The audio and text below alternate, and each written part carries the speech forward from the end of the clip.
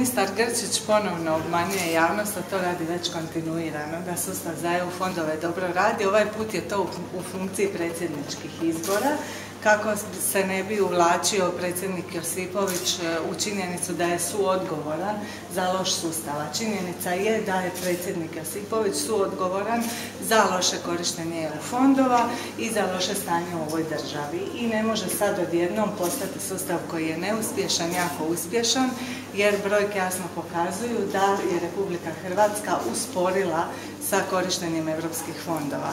Isto tako potpredsjednik e, je najbolji dokaz da ustavne promjene ne mogu poboljšati stanje u državi, nego samo nova vlada koja zna što i kako treba napraviti da bi se fondovi kvalitetno koristili i da bi Republika Hrvatska konačno počela biti uspješna država članica koja koristi sve prednosti članstva, koja, u kojoj se otvaraju radna mjesta i novi poslovi, ima dobru poslovnu klimu i konkurentno je okruženje na razini jedinstvenog tržišta.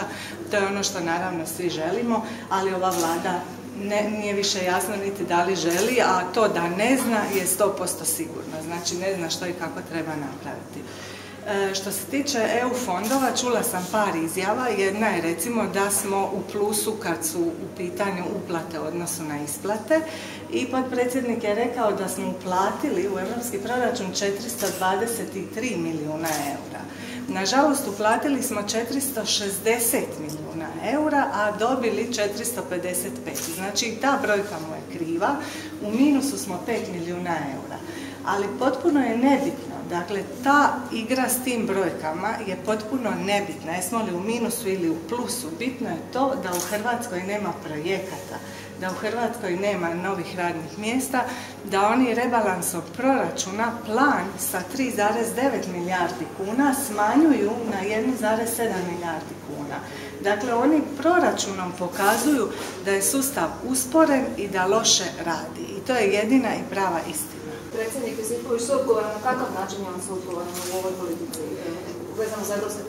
Pa su odgovoran je zato što nije reagirao niti jednom u toku ovih pet godina na vladu. Dakle, posebno od 2012. 13.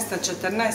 kada su zaista fondovi postali naša stvarnost i kada smo se počeli pripremati za korištenje ove prve tranše za kraj 2013. godine, kao predsjednik je mogao inicirati i tražiti od vlade da se sazove sjednica, da se javna rasprava povede o tome kako se što kvalitetnije pripremiti, kako uključiti lokalne jedinice, županije u pripremu za europske fondove.